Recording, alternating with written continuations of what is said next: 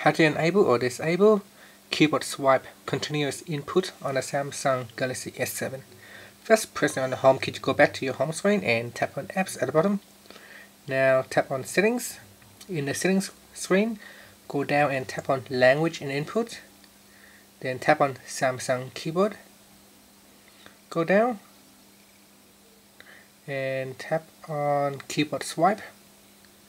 From here you can choose none or you can choose continuous input. Once continuous input is selected, you can start to uh, type by swiping your hand across the keyboard. As you can see here.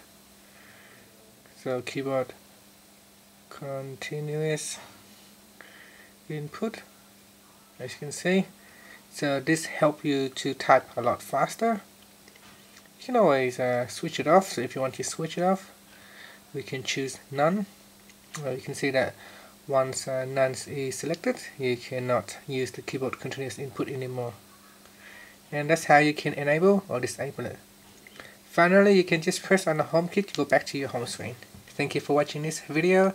Please subscribe to my channel for more videos